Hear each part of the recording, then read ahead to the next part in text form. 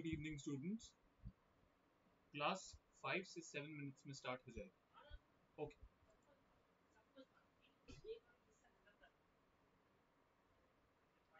ले आए। ये क्या लाए हो? दिखाओ ना। दिखाओ ना। अब मैं ही खाऊँगा उसको तुम नहीं खाओगे।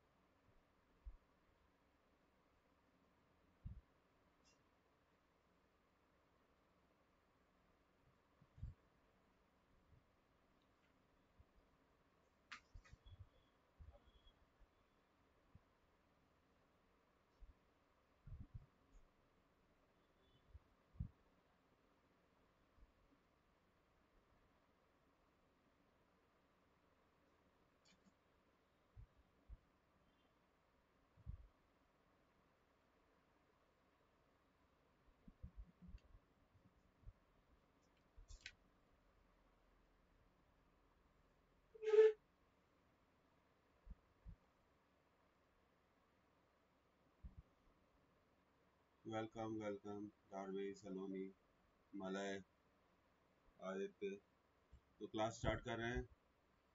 Within two minutes we are starting the class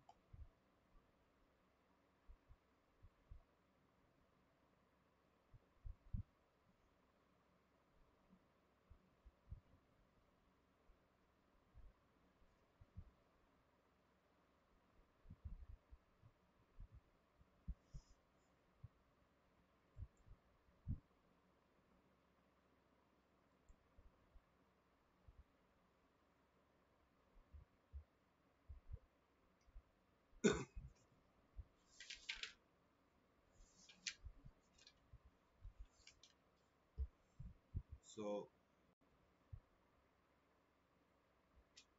today's topic is charge distribution and electric flux. तो सबसे पहले हमें चार्ज डिस्ट्रीब्यूशन और इलेक्ट्रिक फ्लक्स को पढ़ने से पहले हमें कंसेप्ट पढ़नी पड़ेगी इलेक्ट्रिक लाइंस ऑफ़ फोर्सेस की। We need to study the concept of electric lines of forces so, we will begin with the electric lines of forces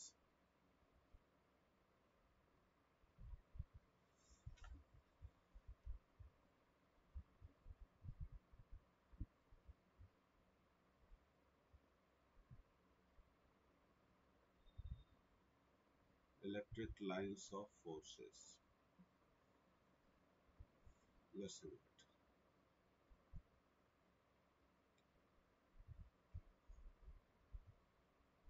it electric lines of forces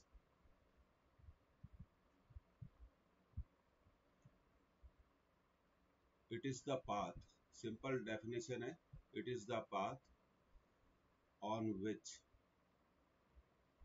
unit positive charge unit positive charge moves in other words we can say path traced by unit positive charge एक general introduction concept हम इसके ले रहे हैं तो the path on which the unit positive charge moves that is called electric lines of forces अब देखिए अब इसके कुछ पॉइंट्स है. Electric lines of forces electric lines of forces simple करके बता रहे हैं आपको lines of forces starts from starts from positive charge starts from positive charge Second point, electric lines of forces. Electric lines of forces. Electric lines of forces, and set negative charge. अब जैसे देखिए, ये आपका एक positive charge रखा हुआ है और अगर इस पॉजिटिव चार्ज के पास हम एक यूनिट पॉजिटिव चार्ज को छोड़ दें तो उसकी टेंडेंसी क्या होगी it will move away from this positive charge इसलिए कहा जाता है कि electric lines of forces starts from positive charge they start from positive charge अगर हम इस पॉजिटिव चार्ज के पास यूनिट पॉजिटिव चार्ज को छोड़ दें तो क्या होगा? It will have a tendency to move away from this positive charge अगर मान लीजिए एक नेगेटिव चार्ज रखा हो तो unit positive charge will move from infinity to this negative charge तो इसलिए हम कहते हैं कि electric lines of forces terminates at ऐसा लैंग्वेज भी यूज़ कर सकते हैं कि electric lines of forces negative charge पर क्या होती है? टर्मिनेट होती है।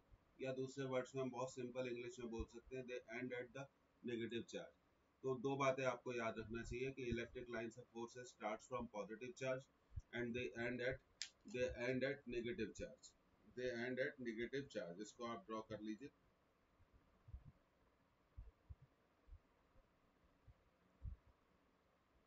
They end at negative charge.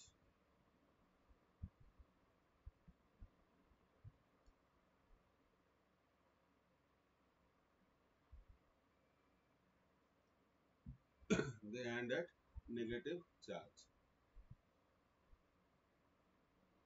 तो इलेक्ट्रिक फ्लक्स की जो बेसिक डेफिनेशन है इलेक्ट्रिक फ्लक्स की जो बेसिक डेफिनेशन है, वो number of electric lines of forces की मदद से ही हम देते हैं। Number of electric lines of forces की मदद से ही हम वर्कआउट करते हैं। इसको ड्रॉ कर लीजिए। They start from positive charge they end at negative charge initially हम इतना ही पढ़ रहे हैं, अगली क्लासेस में हम इलेक्ट्रिक लाइंस ऑफ़ फोर्सेस की जो प्रॉपर्टीज़ होगी, उसको हम डिटेल में डिस्कस करेंगे। तो electric flux is defined with the help of number of electric lines of forces अब दो बातें यहाँ बहुत इंपॉर्टेंट होती है। इलेक्ट्रिक फ्लक्स किसका? Electric flux is a word associated with a surface it is associated with a surface जैसे हम बात करते हैं electric flux of cube electric flux of sphere electric flux of cylinder So it is always associated with an area. The flux is always linked with an area. अब एक generally general definition थी electric flux की, जो बहुत साल पहले दी गई थी। It is defined with the help of electric flux is defined with the help of तो मैं यहाँ उसको लिख देता हूँ। Electric flux is defined with the help of, with the help of number of electric lines of forces number of electric lines of forces number of electric lines of forces तो initial definition ये दी थी electric flux linked with a surface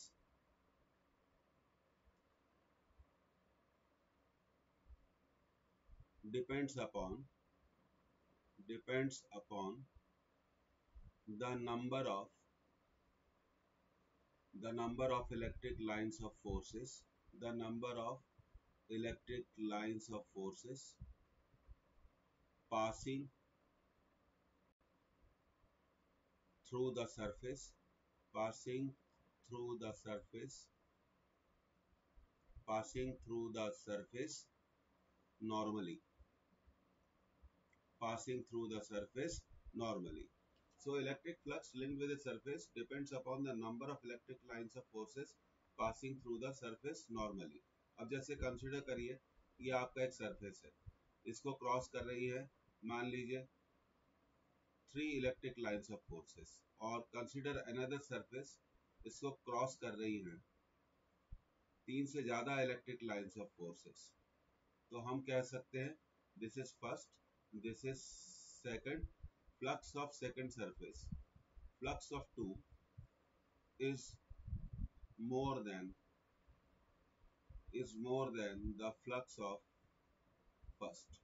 तो हमेशा number of electric lines of forces पर electric flux क्या करता है? Depend करता है। अगर किसी सरफेस से सपोज़ करिए अगर किसी सरफेस से more number of electric lines of forces passing then it will have more electric flux, more electric flux. Flux का मीनिंग होता है टू फ्लो तो फ्लो यहाँ किसका होता है? फ्लो कहाँ से होता है? फ्लो सरफेस से होता है. किसका फ्लो होता है? Number of electric lines of forces का. और आप बहुत अच्छे से जानते हैं। एक सॉरी बेसिक कंसेप्ट आपसे डिस्कस करना चाहता हूँ। If electric lines of forces are more in number then intensity of electric field is more. If electric lines of forces are less in number, then intensity of electric field is also less. So electric field strength, I want to say that electric field strength definitely depends upon the number of electric lines of forces. Number of electric lines of forces. Number of electric lines of forces. I am just giving you the general introduction general introduction of electric flux आगे चल के हम इसके अभी इसी class में mathematical concept पे भी काम करेंगे। अब हम बात करते हैं इलेक्ट्रिक फ्लक्स तो definitely it is determined with the help of it is determined with the help of number of electric lines of forces crossing the surface number of lines of forces तो हम ये कह सकते हैं कि electric flux I am sorry sorry electric flux of a surface. Electric flux of a surface is directly proportional to number of electric lines of forces. Number of electric lines of forces passing through the surface. Passing through the surface. Okay, Malay, welcome. Passing through the surface passing through the surface. Normally. Passing through the surface, normally. तो किसी भी surface का electric flux ये सबसे important point होता है कि किसी भी सरफेस का इलेक्ट्रिक फ्लक्स किस फैक्टर पर डिपेंड करता है।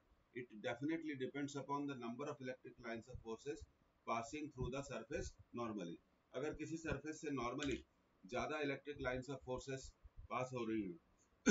तो हम डेफिनेटली कहते हैं this surface have this surface have more electric flux तो किसी भी सरफेस का अगर इनिशियली हमें इनिशियल कंसेप्ट है, अगर किसी भी सरफेस का हमें इलेक्ट्रिक फ्लक्स कैलकुलेट करना है तो डेफिनेटली ये सबसे इम्पोर्टेंट बात है कि हम ये देखेंगे कि उस सरफेस से नॉर्मली कितनी इलेक्ट्रिक लाइंस ऑफ़ फोर्सेस क्या कर रही हैं क्रॉस कर रही है। किसी भी सरफेस से ज़्यादा electric lines of forces cross करेंगे तो उस सरफेस का इलेक्ट्रिक फ्लक्स ज़्यादा होगा। अब हम बात करते हैं चार्ज डिस्ट्रीब्यूशन की क्योंकि फ्लक्स और गॉस लॉ में हम ये सब चीज़ें यूज़ करेंगे। तो देखिए linear charge distribution linear charge बहुत सिंपल आइडिया है आगे चलकर सिंपल आइडिया है। हेलो कंसेप्ट्स बता रहे हैं आपको। I am telling you the basic concept linear charge distribution सारी चीज़। It is denoted by lambda concept it Hello? charge Sir, listen. if charge Hello? if charge is distributed say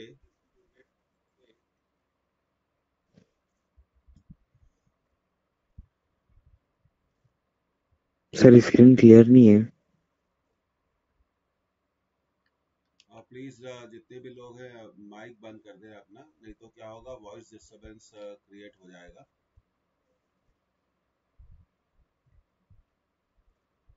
If charge is sir screen clear नहीं है।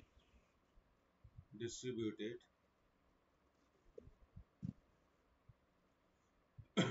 along a line okay it is called linear charge distribution. Linear charge distribution. अब जैसे आप इसका example लेते हैं suppose ये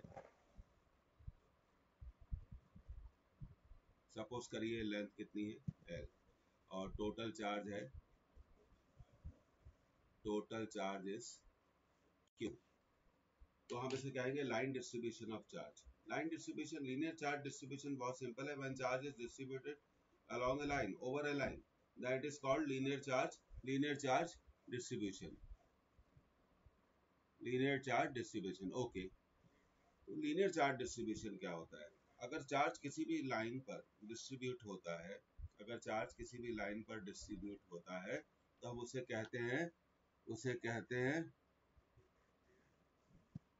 उसे हम कहते हैं लीनियर चार्ज डिस्ट्रीब्यूशन उसे क्या कहते हैं हम? लीनियर चार्ज डिस्ट्रीब्यूशन अब आप इस लाइन को कंसिडर करिए. सपोज़ करिए इस लाइन की लेंथ है एल ओके दो चीज़ें Okay. बहुत इंपॉर्टेंट है. सपोज़ करिए इस लाइन की लेंथ है इस लाइन की लेंथ है एल और इस पर टोटल चार्ज कितना है? तो हम क्या करेंगे? What we will do sir screen disappear हुआ है। Wait a minute.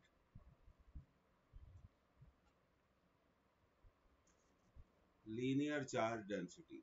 Here we find linear charge density. Sir clear नहीं दिख रहा है। That is lambda q by l. L length पर कितना चार्ज है? Q. यूनिट लेंथ पर कितना चार्ज होगा? Q by l. इसे कहेंगे लीनियर चार्ज डेंसिटी और लैम्डा को हम दो तरह से बताते हैं। लीनियर चार्ज डेंसिटी या हम इसे कहते हैं charge per unit length. Charge per unit length. अब आप देखिए, अगर चार्ज इस पूरी लाइन पर यूनिफॉर्मली डिस्ट्रीब्यूटेड है तो हम कह सकते हैं it is a combination of so many number of point charges so many number of point charges तो ये कंसेप्ट आपको, जब भी आपको लीनियर चार्ज डिस्ट्रीब्यूशन दिया हो लीनियर चार्ज डिस्ट्रीब्यूशन दिया हो तो आपको हमेशा कैलकुलेट करना है charge per unit length charge per unit length ऐसा क्यों करते हैं? अगर यूनिट लेंथ को हम एक पॉइंट चार्ज कंसीडर कर सकते हैं। अब जैसे देखिए, अब यहाँ पर क्या होगा? यहाँ पर हमने एक एलिमेंट ले लिया मान लीजिए ये हमने एक एलिमेंट यहाँ पर ले लिया। इसे हम एलिमेंट बोलेंगे। एलिमेंट का मतलब हो गया एक small piece of line charge इस एलिमेंट को हम कंसीडर करेंगे। Element is considered is considered as point charge और क्योंकि अब तक हमने पढ़ा है, हम पॉइंट चार्ज की इलेक्ट्रिक फ़ील्ड कैलकुलेट कर सकते हैं। हम पॉइंट चार्ज की इलेक्ट्रिक फ़ील्ड कैलकुलेट कर सकते हैं। We can calculate the electric field of electric field of point charge अब हम पॉइंट चार्ज की इलेक्ट्रिक फ़ील्ड को क्या कर सकते हैं? कैलकुलेट कर सकते हैं। इसलिए क्योंकि ये पॉइंट चार्ज नहीं है तो जब चार्ज एक लाइन पर डिस्ट्रीब्यूट होता है तो सबसे पहले हम निकालते हैं कि यूनिट लेंथ पर कितना चार्ज है। तो अब हम यहाँ देखिए, अब हमने इस लाइन चार्ज का एक एलिमेंट कंसिडर कर लिया। इस एलिमेंट की जो लेंथ है, इस एलिमेंट की लेंथ कितनी है? Dl तो अब हम, और इस एलिमेंट को हम एक छोटे से पीस को हम एक पॉइंट चार्ज मान सकते हैं। तो अब देखिए, अगर हमें निकालना है चार्ज ऑन एलिमेंट क्योंकि एलिमेंट को हम एक पॉइंट चार्ज मान सकते हैं तो चार्ज ऑन एलिमेंट को हम लिख सकते हैं लेमदा dl क्योंकि यूनिट लेंथ पर कितना चार्ज है? यूनिट लेंथ पर कितना चार्ज है? लेमदा बात को समझिए, अगर यूनिट लेंथ पर कितना चार्ज है लेमदा तो डीएल लेंथ पर कितना चार्ज होगा? Lambda dl. एलिमेंट क्यों लिया जाता है? एलिमेंट क्यों लिया जाता है? क्योंकि हम एलिमेंट को पॉइंट चार्ज सपोज़ कर सकते हैं। हम एलिमेंट को पॉइंट चार्ज सपोज़ कर सकते हैं। और हम पॉइंट चार्ज की इलेक्ट्रिक फ़ील्ड का फॉर्मूला जानते हैं। तो जब भी चार्ज यूनिफॉर्मली डिस्ट्रीब्यूटेड होगा लाइन पर डिस्ट्रीब्यूटेड होगा तो हम उस लाइन पर एक सबसे पहले निकालेंगे लीनियर चार्ज डेंसिटी, फिर एक एलिमेंट को कंसीडर करेंगे। और उस एलिमेंट को हम मानेंगे कि ये एक हमारा पॉइंट चार्ज है। और उस पॉइंट चार्ज के लिए हम इलेक्ट्रिक फ़ील्ड को निकाल सकते हैं। फिर इंटीग्रेशन क्यों किया जाता है? इंटीग्रेशन क्यों किया जाता है? इंटीग्रेशन का मतलब होता है, अभी आपको सिर्फ़ इतना ही समझना है कि इंटीग्रेशन का मीनिंग होता है समेशन सबसे पहले हमने एक एलिमेंट की इलेक्ट्रिक फ़ील्ड निकाल ली, फिर बारी बारी से हम सभी एलिमेंट्स की इलेक्ट्रिक फ़ील्ड निकालेंगे। I want to say that सभी एलिमेंट्स की इलेक्ट्रिक फ़ील्ड को ऐड करेंगे। जब हम सभी एलिमेंट्स की इलेक्ट्रिक फ़ील्ड को यस यस बिल्कुल डेफिनेटली ये जो लाइन चार्ट डिस्ट्रीब्यूशन है, ये सारे एग्जामिनेशन के लिए एप्लीकेबल है। अगर आपको लाइन चार्ट डिस्ट्रीब्यूशन नहीं आता है तो आप लाइन चार्ज की इलेक्ट्रिक फ़ील्ड कैलकुलेट नहीं कर सकते। एक रिंग की जब हम इलेक्ट्रिक फ़ील्ड कैलकुलेट करते हैं, जब हम एक रिंग की इलेक्ट्रिक फ़ील्ड कैलकुलेट करते हैं, मैंने आपको पिछली क्लासेस में बताया था, अब मैं आपको फिर से, आपको फिर से बता दूँ, जैसे ये रिंग है, ये ये रिंग है, जब ये चार्ज देखिए, इस रिंग पर चार्ज यूनिफॉर्मली डिस्ट्रीब्यूटेड होता है। हमने पिछली क्लास में एक केस किया था when charge is uniformly distributed on a line और हमें इस रिंग की इलेक्ट्रिक फ़ील्ड इस पॉइंट पी पर निकालनी है तो हम क्या करेंगे? अब हम यहाँ पे एक एलिमेंट को क्या करेंगे? कंसीडर करेंगे। एक एलिमेंट को कंसीडर करेंगे। ये देखिए, ये हमने एलिमेंट यहाँ पर कंसीडर कर लिया। इसकी लेंथ कितनी है? डीएल अब ये पॉइंट हम इसे क्या मानेंगे? हम इसे क्या सपोज़ करेंगे? एक पॉइंट चार्ज सपोज़ करेंगे। और हम जानते हैं कि पॉइंट चार्ज की इलेक्ट्रिक फ़ील्ड हमें निकालना आती है। क्योंकि चार्ज पूरी चार्ज इज़ देखिए, अब यहाँ पर एक और बात है, इसको समझना ज़रूरी है, किताब में तो बहुत सारी चीज़ें मिल जाएँगी। हम कहते हैं charge is uniformly charge is uniformly distributed distributed on a ring on a ring तो हम इसे क्या मानेंगे? लाइन चार्ज अगर हम इसे क्या सपोज़ करेंगे? लाइन चार्ज, अगर हम इस रिंग को ओपन कर दें, अगर हम इस पूरी रिंग को ओपन कर दें, आप बताइए, सपोज़ करिए, अगर हम इस पूरी रिंग को ओपन कर दें तो इसकी लेंथ कितनी होगी? टू पाई आर होगी कि नहीं? सरकमफेरेंस के इक्वल होगी कि नहीं? तो ये लाइन चार्ज डिस्ट्रीब्यूशन का ही एग्ज़ाम्पल है। तो अभी आपको इतना समझना चाहिए when charge is distributed over a line it is called line charge अब प्रॉब्लम क्या आती है? हमें अगर लाइन चार्ज की इलेक्ट्रिक फ़ील्ड कैलकुलेट करनी है, सीखना पड़ेगा अगर आपको, अगर हमें पॉइंट चार्ज की, अगर लाइन चार्ज की इलेक्ट्रिक फ़ील्ड कैलकुलेट करनी है तो वो पॉइंट चार्ज तो है नहीं. पॉइंट चार्ज तो है नहीं तो हम उसमें एक एलिमेंट को सिलेक्ट करेंगे. एक एलिमेंट को सपोज़ करेंगे और हम उस एलिमेंट की लेंथ को मानेंगे डीएल और उसे कंसीडर करेंगे एक पॉइंट चार्ज अब हम अच्छे से जानते हैं कि पॉइंट चार्ज की इलेक्ट्रिक फ़ील्ड कितनी होती है तो हम उस एलिमेंट की इलेक्ट्रिक फ़ील्ड को क्या कर लेंगे? कैलकुलेट कर लेंगे. उस, आपको मेथड बता रहा हूँ. अभी करके कुछ नहीं बता रहा. हम उस एलिमेंट की इलेक्ट्रिक फ़ील्ड को कैलकुलेट कर लेंगे और इसी तरह हम सभी एलिमेंट्स मिलकर, सभी एलिमेंट्स मिलकर, बहुत सारे एलिमेंट्स मिलकर लाइन चार्ज बनाते हैं, फिर हम उसे इंटीग्रेट कर देंगे. तो हमें टोटल इलेक्ट्रिक फ़ील्ड मिल जाएगी। इंटीग्रेशन का मीनिंग बहुत सिंपल है। टू ऐड जोड़ना। टू फाइंड द समेशन तो लाइन चार्ज बहुत सिंपल है। When charge is distributed over a line, it is called line charge और जब चार्ज एक लाइन पर डिस्ट्रीब्यूटेड होता है तो हम उस लाइन पर एक एलिमेंट ले लेते हैं और उस, उसकी लेंथ सपोज़ कर लेते हैं डीएल और उस एलिमेंट की को हम कंसीडर करते हैं पॉइंट चार्ज और हमें पॉइंट ऐसा क्यों है?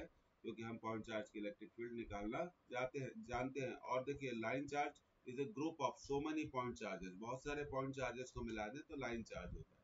तो चार्ज डिस्ट्रीब्यूशन में बहुत सिंपल कंसेप्ट है। आगे चल के क्या होगा? जब हम इसका एप्लीकेशन करेंगे, तब आपको ज़्यादा समझ में आएगा। अभी तो आप ये समझ लीजिए when charge is distributed over a line आगे बढ़ते हैं। Surface charge distribution surface charge distribution अगर आपको पूरी तरह से ये सीखना है, देखिए व्हेन चार्ज इज़ यूनिफॉर्मली ऐसा लिख देते हैं when charge is uniformly distributed over a over a surface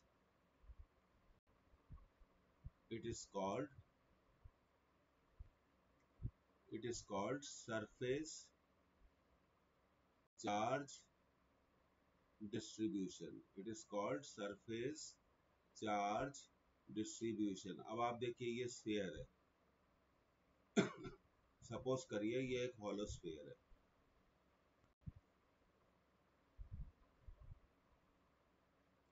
और इस पर चार्ज कितना है? Plus Q.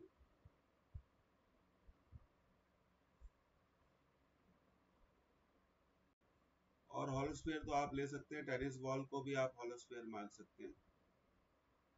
Charge plus Q is uniformly distributed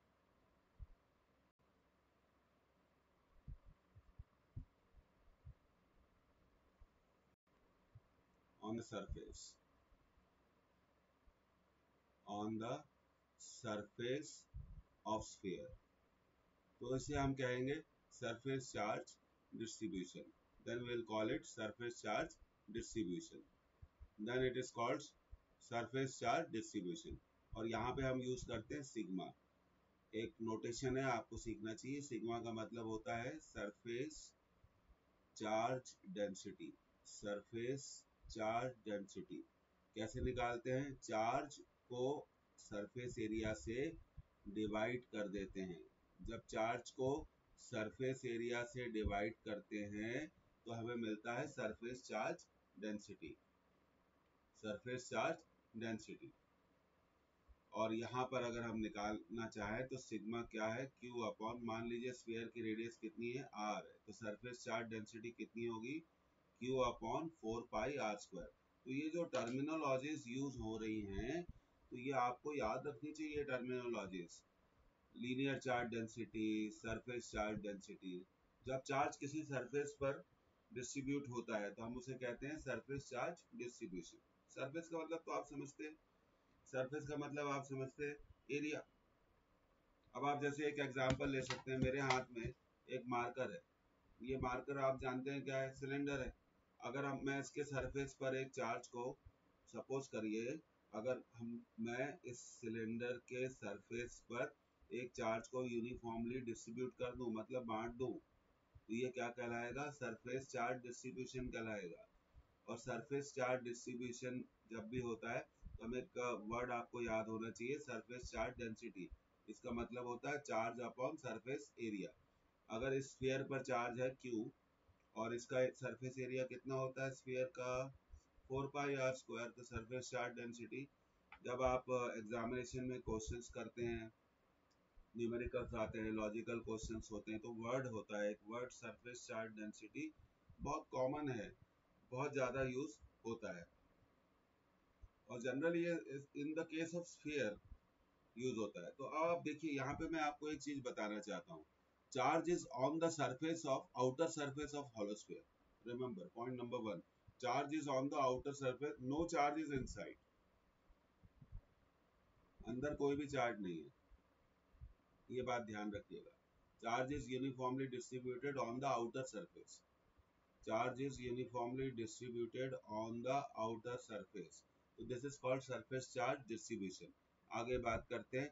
अब देखिए, इसी तरह हम वॉल्यूम चार्ज डिस्ट्रीब्यूशन के बारे में बात करते हैं। अब हम आज का टॉपिक स्टार्ट करते हैं। Area area as a vector तो ये आप नोट करिए the physical quantity area as a pseudo vector pseudo का मतलब आप समझते हैं, जो रियल नहीं है, हम उसे सीडो कहते हैं। We treat area of a surface as a vector quantity किसी भी सरफेस के एरिया को हम वेक्टर क्वांटिटीज मानते हैं।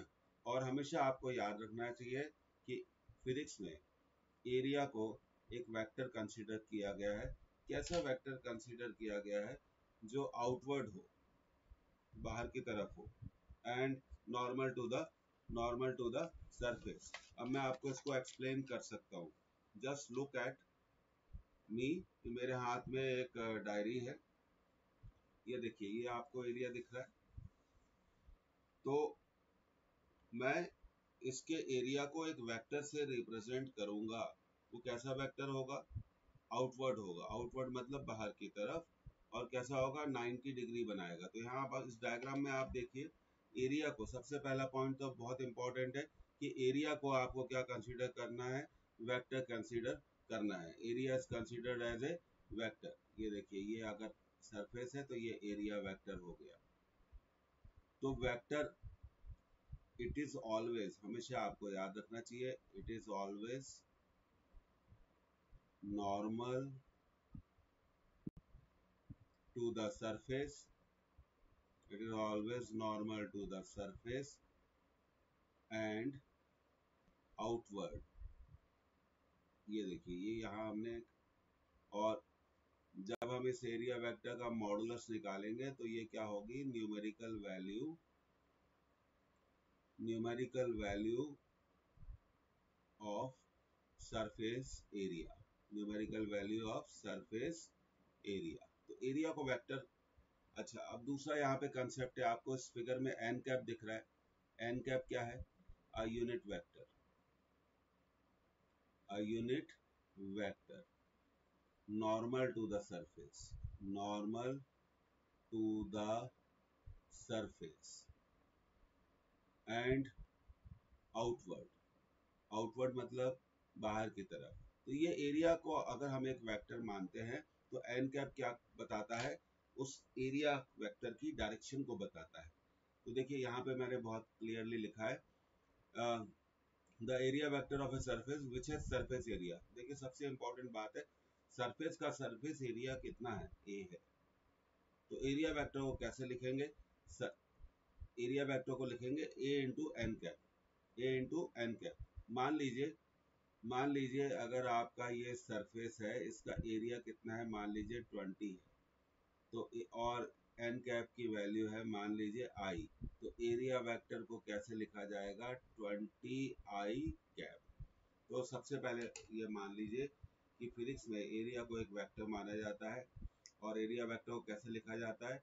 ए इंटू एन कैप ये आपको कॉपी में नोट कर लेना चाहिए। A into N cap A क्या है? सरफेस एरिया है और एन कैप क्या है? उस एरिया वेक्टर की डायरेक्शन को बतलाता है। तो देखिए, यहाँ पे मैंने क्लियर लिखा है। Where N is the unit vector in the direction along outward normal to the surface. अब देखिए यहाँ बात करी है मैंने surface is three dimension three dimension आप समझते हैं। थ्री डायमेंशन का मतलब होता है length breadth and height three dimension का मीनिंग होता है लेंथ ब्रेथ एंड हाइट और थ्री डायमेंशन मतलब हम बात कर रहे हैं वॉल्यूम की। एक्स वाई जेड एक्सिस की बात कर रहे हैं। when a surface is three dimensional we consider a small and finite small area element dA area element D है। देखिए, फिर एलिमेंट की कंसेप्ट आ गई। ये आपको फिगर में एक हेमिस्फीयर दिख रहा है।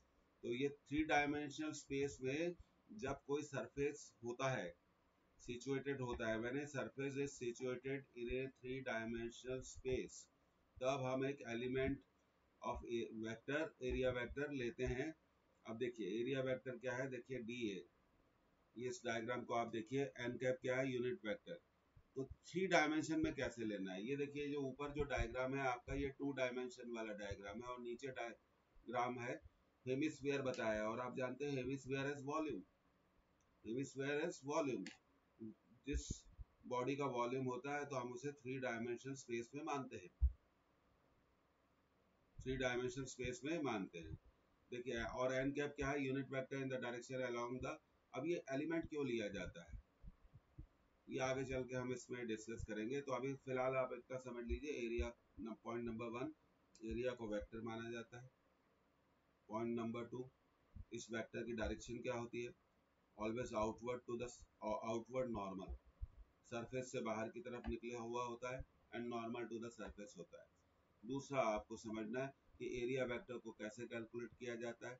सरफेस एरिया को एन कैप से हम मल्टीप्लाई कर देते हैं और एन कैप एक यूनिट वेक्टर है। जो नॉर्मल टू द सरफेस है एंड आउटवर्ड है और इस एन कैप का फ़ंक्शन यहाँ पर क्या है? N cap gives the direction of ये टफ टॉपिक्स हैं। N cap gives the direction of N cap gives the direction of area vector तो इतना आपको नोट कर लेना चाहिए। किताबों में मिल जाएगा, समझ में आना चाहिए। Once you understand then you can do so many things अब जैसे देखिए, ये सरफेस है। यहाँ पर हमने देखिए D S positive normal to the surface and outward और निगेटिव कब होगा? और ये देखिए सेकंड केस में क्या है? सेकंड केस में ये पहला केस हो गया आपका और ये हो गया आपका सेकंड केस डीए को हमेशा outward and normal to the surface and outward ही माना जाता है। अब ये सरफेस कैसे रखा हुआ है? स्पेस में इस पर डिपेंड करता है। ये देखिए, ये आपको डायग्राम बना के आपको बता दिया। D is positive normal to the surface and normal to the surface and outward normal to the surface and outward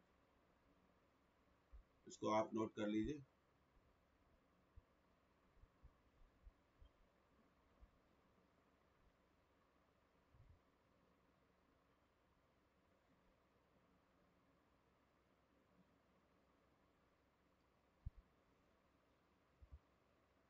normal to the surface and outward अब आगे बढ़ते हैं।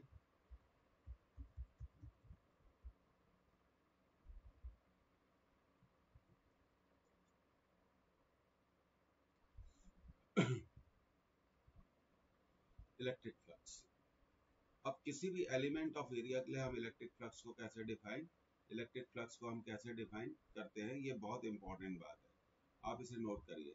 The word flux comes from the Latin word meaning to flow. Flux का मतलब होता है to flow. Flow में बी ऑफ़ एयर। किसका फ्लो हो सकता है? एयर का फ्लो हो सकता है, वाटर का फ्लो हो सकता है, और इलेक्ट्रिक फ़ील्ड। देखिए, हमारा कंसेप्ट यहाँ पे आ गया electric field through any surface through any surface अब इसका रफ मीनिंग क्या है? इसका रफ मीनिंग बहुत सिंपल है कि जब इलेक्ट्रिक लाइंस ऑफ़ फोर्सेस जब इलेक्ट्रिक लाइंस ऑफ़ फोर्सेस किसी सरफेस को क्रॉस करती हैं तो हम कहते हैं फ्लो फ्लो हो रहा है। क्या हो रहा है? फ्लो हो रहा है। फिर हम कहते हैं this surface is linked with flux इस सरफेस के पास फ्लक्स है। इस सरफेस के पास फ्लक्स है। और उस फ्लक्स को हम नाम दे देते हैं electric flux electric flux through any surface may be defined as the total field lines crossing the surface. Crossing the surface in normal direction इसमें आप ऐसा कर लीजिए। देखिए, इस पॉइंट को आप नोट कर लीजिए। Electric flux through any surface may be defined as the total field lines crossing that surface in normal direction अब देखिए, किसी भी स्मॉल एलिमेंट का स्मॉल एलिमेंट का मतलब उस सरफेस का हम एक स्मॉल एलिमेंट ले रहे हैं। The electric flux D phi through small element of surface D A is defined as E cos theta D A अब आप देखिए इस डायग्राम में इलेक्ट्रिक फ़ील्ड है। इलेक्ट्रिक फ़ील्ड तो सबसे पहले हम ये देखते हैं कि इलेक्ट्रिक फ़ील्ड अब देखिए मैं यहाँ आपको करके बता देता हूँ। मान लीजिए एक सरफेस है और ये इसका वेक्टर है एरिया वेक्टर एन कैप आप जानते हैं एन कैप कैसा होता है? Normal to the surface and outward और यहाँ हमने सपोज़ कर लिया इलेक्ट्रिक फ़ील्ड कितनी है? ई e है। अब हम इलेक्ट्रिक फ़ील्ड को रिजॉल्व करेंगे। आपको रिजॉल्व करना आता है, क्योंकि इलेक्ट्रिक फ़ील्ड एन कैप से कितना एंगल बनाती है? थीटा तो इसका रिजॉल्व पार्ट आ जाएगा ई कॉस थीटा और 90 डिग्री पर कौन सा पार्ट आ जाएगा? ई साइन थीटा तो हम हमेशा इलेक्ट्रिक फ़ील्ड के उस कंपोनेंट को यूज़ करते हैं जो एन कैप की डायरेक्शन में होता है। इलेक्ट्रिक फ़ील्ड के किस किस कंपोनेंट को, किस कंपोनेंट को यूज़ करना है जो एन कैप की डायरेक्शन में है। तो एन कैप की डायरेक्शन में क्या है? ई कॉस थीटा इसलिए इस एलिमेंट का इलेक्ट्रिक फ्लक्स क्या होगा? D phi equal to E cos theta into D तो किसी भी एलिमेंट का अगर आपको इलेक्ट्रिक फ्लक्स निकालना है तो आपको फॉर्मूले को क्या करना पड़ेगा? यूज़ करना पड़ेगा E D A cos theta और अगर total flux through the surface निकालना है तो हमें इसको इंटीग्रेट करना पड़ेगा। इंटीग्रेट करने का मतलब है कि हम सभी छोटे छोटे एलिमेंट्स के इलेक्ट्रिक फ्लक्स को ऐड कर रहे हैं। अब सपोज़ करिए, मान लीजिए किसी सरफेस को, किसी सरफेस को हम ten thousand ten thousand small elements में डिवाइड कर रहे हैं। तो हम क्या करेंगे? सबसे पहले एक एलिमेंट का इलेक्ट्रिक फ्लक्स निकालेंगे और फिर हम उसे इंटीग्रेट करेंगे। इंटीग्रेट करने का मतलब बहुत सिंपल है। मैंने फिर से आपको एग्जांपल दिया। अगर हम सपोज़ करें कि किसी भी सरफेस को हम टेन थाउज़ेंड एलिमेंट्स में डिवाइड कर रहे हैं तो हम क्या करेंगे? एक एलिमेंट का इलेक्ट्रिक फ्लक्स निकाल लेंगे। फिर सभी टेन थाउज़ेंड एलिमेंट्स का, सभी टेन थाउज़ेंड एलिमेंट्स का इलेक्ट्रिक फ्लक्स क्या करेंगे? ऐड करेंगे। और जब हम सभी एलिमेंट्स का इलेक्ट्रिक फ्लक्स ऐड करेंगे तो उसका मतलब होगा कि हम उसे इंटीग्रेट कर रहे हैं। तो ये जो साइन है ना इंटीग्रेशन का, ये जो साइन है आपका इंटीग्रेशन का, आपको इससे घबराना नहीं चाहिए। तो मैं आपको फिर से यहाँ पर क्लियर कर दूँ। अगर ये एक एलिमेंट है और ये इलेक्ट्रिक फ़ील्ड है और इलेक्ट्रिक फ़ील्ड एन कैप से कितना एंगल बनाती है? थीटा एंगल बनाती है तो इसका इलेक्ट्रिक फ्लक्स क्या होगा? इसका इलेक्ट्रिक फ्लक्स होगा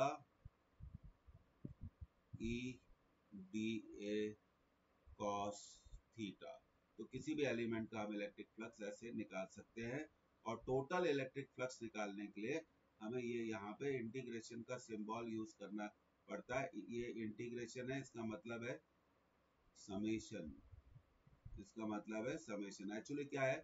200 साल पहले ये ऐसा था। एस पहले एस लिखते थे, फिर ये एस खिंचता गया खिंचता गया खिंचता गया तो ये बदल गया इसमें। तो आप ध्यान से अगर आप उसको देखेंगे तो वो है actually summation if is is uniform through the throughout the surface तो फ्लक्स को हम लिख सकते हैं ई ए ई ए कॉस थीटा अब मैं आपको एक बहुत अच्छा सा एग्ज़ाम्पल देना चाहता हूँ। इतना पोर्शन तो आप लोगों को दिख रहा होगा। You are able to see that अब देखिए, मेरे हाथ में एक बुक है। दिख रही है आपको book you can type yes Y type कर सकते हैं। बुक दिख रही है? अब दिख रही है? Are you able to see the book acha you cannot see okay wait a minute wait a minute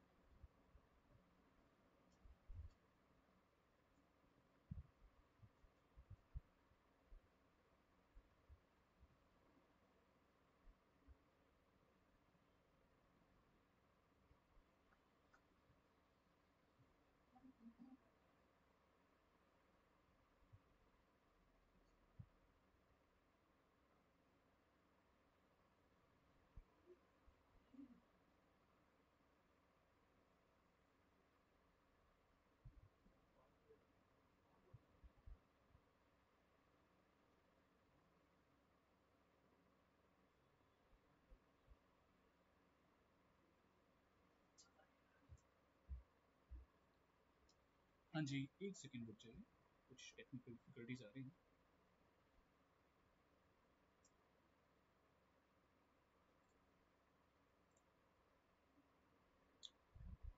पापा?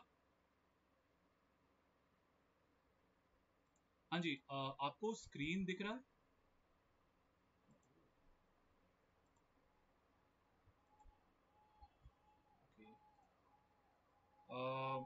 स्टूडेंट्स आपको स्क्रीन दिख रहा है। ओके ठीक है। स्क्रीन दिख रहा है। वेबकैम ऑन कर देते कोई दिक्कत नहीं है। ओके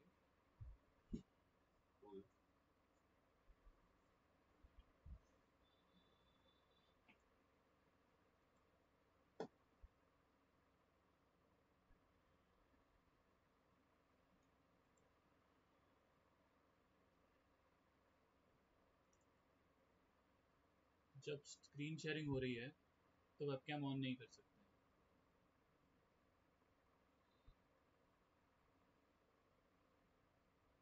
अभी की क्लास तो ले लो। क्या फ़र्क पड़ता? है आप देख रहे हो कि नहीं? माइक म्यूटेड है। आज तक आज तक ऐसे ही था। हाँ। कभी नहीं चलेगी क्लास अच्छा ठीक है। अभी तो ले लो। बताया नहीं तुमने कैसे आपको मुझे लगा ऑलरेडी पता है। कभी करना हाँ। कि कभी सक्सेसफुल नहीं होगा अगर टीचर नहीं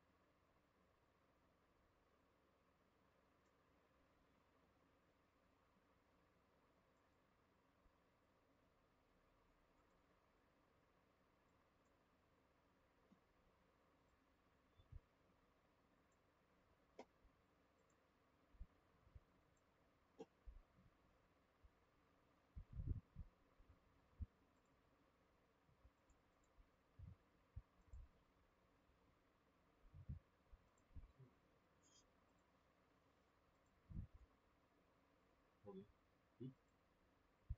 Okay. Now you are able to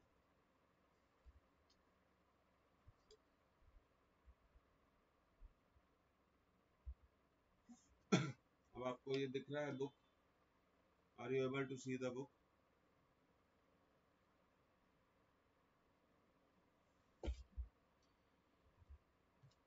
हाँ तो ये फ्लक्स की बात कर रहे थे तो इलेक्ट्रिक फ्लक्स क्या होगा एलिमेंट का E D A cos theta आगे बढ़ते हैं। अब देखिए when electric field is normal to the surface इसका मतलब है what is the angle between just observe what is the angle between हमेशा ये देखना है हमें what is the angle between N cap and E आप खुद देख के बताइए एन कैप और ई के बीच में एंगल कितना है? Zero degree is zero degree so theta is zero degree तो फ्लक्स क्या होगा? D phi equal to I want to say that phi equal to E A cos theta, और थीटा ज़ीरो हो गया, थीटा ज़ीरो हो गया तो flux की वैल्यू हो गई E A cos zero so the flux is E A तो ये बहुत सिंपल मेथड हो गई कि आप फ्लक्स कैलकुलेट कर सकते हैं। You can calculate the flux जब electric field normal to the area होगी तो आप सिंपल फॉर्मूला यूज़ कर सकते हैं फ्लक्स का। Electric field multiplied by area लेकिन एक बात को आपको ध्यान रखना चाहिए कि ये फॉर्मूला आप तभी यूज़ कर सकते हैं when electric field is normal to the surface normal to the surface तो ये आपका पहला केस हो गया। इसको आप नोट कर लीजिए।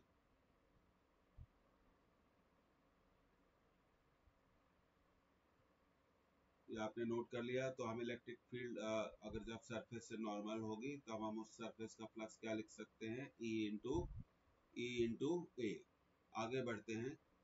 तो ये केस आपने नोट कर लिया point number one point number two when electric field is parallel to the surface अब आप देखिए electric field parallel to the surface है तो हमें देखना पड़ेगा what is the angle between बहुत सिंपल सा क्वेश्चन है what is the angle between what is the angle between E and N cap answer क्या है इसका? 90 डिग्री। तो थीटा यहाँ पर 90 डिग्री हो गया तो फ्लक्स का फॉर्मूला हमने यूज़ किया E A cos 90 degree. Cos 90 degree की वैल्यू ज़ीरो होती है तो फ्लक्स क्या हो गया? ज़ीरो। तो हम यहाँ पर एक बात लिखेंगे। वैन इलेक्ट्रिक फ़ील्ड एक पॉइंट बनाएँगे। When electric field is parallel to the surface parallel to the surface then flux of surface then flux is always equal to zero तो हम ये कहना चाहते हैं when sorry when electric field is parallel to the surface, parallel to the surface, then surface is not. Then surface is not linked with any flux. तो ये दो, ये तो पहला पॉइंट हो गया और ये दूसरा पॉइंट हो गया। ये दो बातें आपको हमेशा याद रखनी चाहिए। और जनरल तीसरा पॉइंट तो ये हो गया कि इलेक्ट्रिक फ़ील्ड ना तो सरफेस से, के पैरेलल है, ना सरफेस के नॉर्मल है। तो ऐसे केसेस में हम फ्लक्स को क्या लिख लेंगे? ई ए कॉस थीटा तो ये दो स्पेशल केसेस आपको, दो स्पेशल केसेस आपको मालूम होने चाहिए। This is very important these two special cases you must remember ये आपको मालूम होने चाहिए। तो आगे बढ़ते हैं। इसको आपने नोट कर लिया, ये दो केसेस हो गए। अब देखिए electric flux produce by point charge ये देखिए, अब एक इम्पोर्टेंट पॉइंट पर हम आ गए। हैं इलेक्ट्रिक फ्लक्स प्रोड्यूस बाय ये इम्पोर्टेंट है।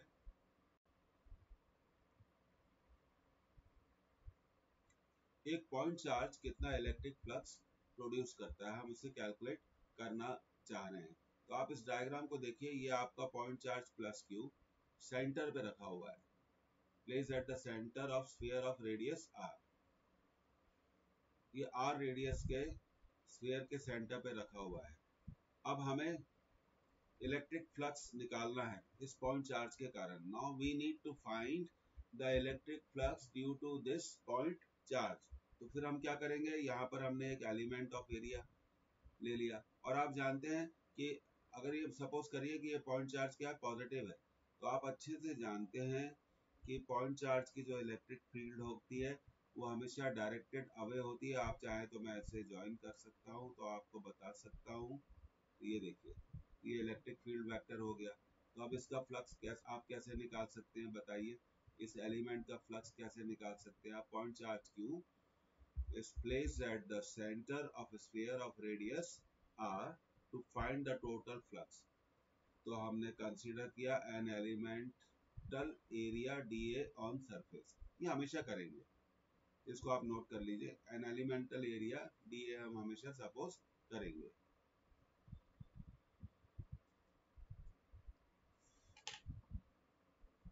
और ये जो स्फीयर है, ये सरफेस है। हमें इसका इलेक्ट्रिक फ्लक्स निकालना है तो सबसे पहले हम एक छोटी सी एलिमेंट का इलेक्ट्रिक फ्लक्स निकालेंगे। उसके बाद उसके बाद हम इंटीग्रेशन करेंगे तो हमें पूरे सरफेस का, पूरे सरफेस का इलेक्ट्रिक फ्लक्स मिल जाएगा। पूरे सरफेस का इलेक्ट्रिक फ्लक्स मिल जाएगा। अब देखिए electric field at every point on the sphere आप जानते हैं कि किसी भी, फिर से बता दें अब इस पॉइंट चार्ज क्यू का सरफेस से डिस्टेंस कितना है, बताइए। आर और आप अच्छे से जानते हैं कि क्यू चार्ज की इलेक्ट्रिक फ़ील्ड क्यू चार्ज की इलेक्ट्रिक फ़ील्ड उससे आर डिस्टेंस पर कितनी होती है? E equal to one upon four pi epsilon zero Q by R square आप जानते हैं पॉइंट चार्ज की इलेक्ट्रिक फ़ील्ड उससे आर डिस्टेंस पर कितनी होती है? Equal to one upon four pi epsilon zero Q by R square Q by R square तो ये हमारा इक्वेशन हो गया one field at every point on the surface is E equal to 1 upon 4 pi epsilon 0 q by r square. अब of element total area D A is given by D phi equal to अभी तो flux हम देख ही चुके हैं। और आप देखिए पिछले डायग्राम में ई e और डी में डी ए में कितना एंगल बन रहा है। एरिया वेक्टर के साथ इलेक्ट्रिक फ़ील्ड कितना एंगल बना रही है? ज़ीरो डिग्री एंगल बना रही है। इसलिए हमने यहाँ पे लिखा थीटा क्या हो गया? आपका ज़ीरो डिग्री हो गया तो D phi equal to E D A cos zero और आप अच्छे से जानते हैं कि कॉस ज़ीरो की जो वैल्यू होती है कॉस ज़ीरो डिग्री की वैल्यू कितनी होती है? वन होती है। तो इस एलिमेंट का इलेक्ट्रिक फ्लक्स कितना आ गया? इस एलिमेंट का इलेक्ट्रिक फ्लक्स आ गया ई D A E D A अब हमें टोटल फ्लक्स निकालना है। अब हमें टोटल फ्लक्स निकालना है। तो टोटल फ्लक्स निकालने के लिए हमें इंटीग्रेट करना पड़ेगा। तो ये डी हमने इस इक्वेशन को इक्वेशन टू को इंटीग्रेट कर दिया। ये रहा आपका equation two D phi equal to E D है हमने इसको इंटीग्रेट कर दिया। ये हो गया phi equal to E D A E D A को हमने बाहर निकाल लिया। ई को हमने बाहर निकाल लिया। क्यों बाहर निकाल लिया? क्योंकि हमने कहा है electric field at every point on the surface फिर से देखिए electric field at every point on the surface इससे क्योंकि अगर हम सरफेस पर, क्योंकि अगर हम सरफेस पर कोई सा भी पॉइंट लेंगे, अगर हम सरफेस पर कोई सा भी पॉइंट लेंगे तो उसकी सेंटर से डिस्टेंस हमेशा रेडियस के इक्वली होगी। और चार्ज कहाँ रखा हुआ है? सेंटर पे रखा हुआ है।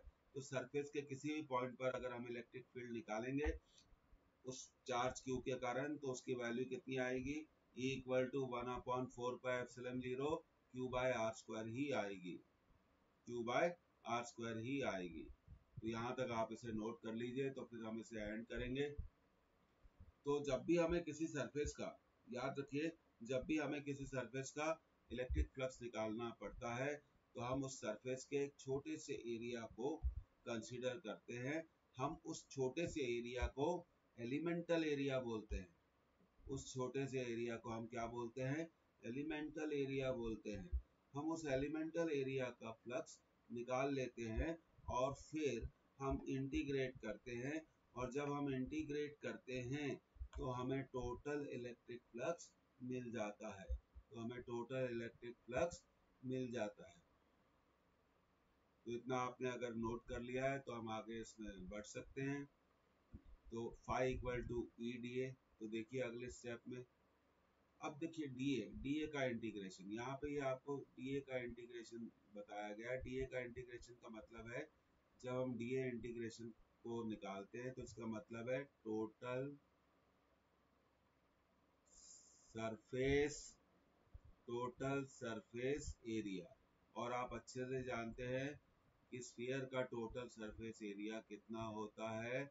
फोर पाई आर स्क्वायर हमने यहाँ पर लिख दिया फोर पाई आर स्क्वायर ये हो गया five five five equal to one up और इलेक्ट्रिक फ़ील्ड की वैल्यू रख दी यहाँ पर हमने. इलेक्ट्रिक फ़ील्ड की वैल्यू रख दी one upon four pi epsilon zero q by r square ये टोटल एरिया हमने लिख दिया फोर पाई आर स्क्वायर अब हम कैंसिल करेंगे. देखिए फोर पाई से हम फोर पाई को क्या कर देते हैं? कैंसिल कर देते हैं। और यहाँ आर स्क्वायर से भी आर स्क्वायर क्या हो जाता है? कैंसिल हो जाता है। तो टोटल फ्लक्स पाई जिसको हमने इंटीग्रेट करके निकाला था, वो क्या आएगा? Q upon epsilon zero q upon epsilon zero अब देखिए, बहुत इंपॉर्टेंट बात है, इस सरफेस के अंदर कितना चार्ज रखा था? क्यू और अब हमारे पास एक फॉर्मूला है। हम कह सकते हैं कि total flux of charge total flux of surface total flux of surface is equal to charge inside charge inside the surface charge inside the surface multiplied by one upon epsilon zero तो अब हमारे पास एक formula आ गया।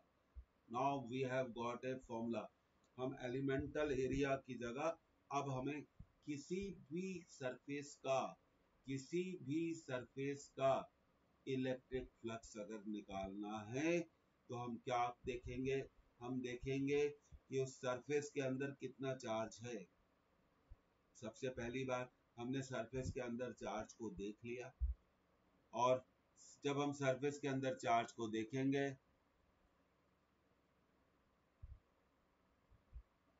जब हम surface के अंदर चार्ज को देखेंगे तो हम क्या करेंगे? वन अपॉन एप्सिलॉन ज़ीरो को वन अपॉन एप्सिलॉन ज़ीरो को उस चार्ज से मल्टीप्लाई कर देंगे। अब मान लीजिए, किसी भी सरफेस के अंदर, किसी भी सरफेस के अंदर चार्ज है बीस कूलम किसी सरफेस के अंदर चार्ज है बीस कूलम मान लीजिए, किसी भी सरफेस के अंदर चार्ज है बीस कूलम और कैसा भी सरफेस है। मान लीजिए ये हम अब एक, यहाँ पे एक रफ डायग्राम बना लेते हैं, ये देखिए। मान लीजिए ये सरफेस है। कैसा ही सरफेस आप बना लीजिए, किसी भी शेप को और साइज़ का बना लीजिए। और अंदर चार्ज है प्लस ट्वेंटी कूलम तो अब हमारे पास एक फॉर्मूला है flux of surface flux of surface हम 20 को किससे मल्टीप्लाई कर देंगे? वन अपॉन एप्सिलॉन ज़ीरो से हम बोल देंगे 20 बाय एप्सिलॉन ज़ीरो। लेकिन एक बात आपको याद रखनी चाहिए, एक बात आपको याद रखनी चाहिए, ये तभी एप्लीकेबल होगा जब सरफेस के अंदर चार्ज होगा। अब मान लीजिए किसी भी सरफेस के अंदर कोई भी चार्ज नहीं रखा हुआ है। सपोज़ करिए there is no charge inside a surface there is no charge inside a surface then what answer you will give, what answer you will give for the flux of surface? बताइए। तो आप बोलेंगे, उस flux का sir उस surface sorry उस surface का flux zero है। जिस जिस सरफेस के अंदर कोई भी चार्ज नहीं होगा, उस सरफेस का फ्लक्स उस सरफेस का फ्लक्स हमेशा ज़ीरो होगा। तो किसी भी सरफेस का फ्लक्स हम कैसे डिसाइड करेंगे अब? हम देखेंगे कि उस सरफेस के अंदर चार्ज है कि नहीं। अगर किसी सरफेस के अंदर चार्ज नहीं है, किसी सरफेस के अंदर सरफेस के अंदर चार्ज नहीं है तो हमेशा आप इस बात को याद रखिए कि उस सरफेस का फ्लक्स क्या होगा? ज़ीरो होगा। और अब मान लीजिए आपके पास एक सरफेस है, जिसमें बहुत सारे चार्जेस रखे हुए हैं, अंदर। उस सरफेस के अंदर बहुत सारे चार्जेस रखे हुए हैं। तो आप सबसे पहले क्या करेंगे? उन चार्जेस को ऐड कर लीजिए। Add the charges add the charges which are kept inside the surface कर लिया। और उसके बाद उस एडिशन को, उस एडिशन को आप किससे मल्टीप्लाई कर देंगे? वन अपॉन एप्सिलॉन ज़ीरो से मल्टीप्लाई कर देंगे। तो ये एलिमेंट्री बेसिक कंसेप्ट है। धीरे धीरे थोड़ा आपको किताबों में भी पढ़ना पड़ेगा बार बार पढ़ना पड़ेगा। देखिए, जब तक आप किताबों के साथ एक्टिवेट नहीं करेंगे खुद को बार बार रीड नहीं करेंगे, कभी भी एक बार रीडिंग से या दो रीडिंग तीन रीडिंग से सब्जेक्ट कभी भी क्लियर नहीं होता है। More than three five readings चाहिए। बार बार आप उसको रीड करिए और आप ये सोचिए फीलिंग लाइए yes I can understand it I can do it तो ये कंसेप्ट बहुत इम्पोर्टेंट है। तो आगे हम बढ़ेंगे। अब हम बहुत इम्पोर्टेंट एग्जामिनेशन एरिया में क्या कर चुके हैं? एंटर कर चुके हैं। आज की क्लास को यहीं पर एंड करते हैं। Will discuss in detail in next class electric flux Gauss law बहुत सारी चीज़ों को हम डिस्कस करेंगे।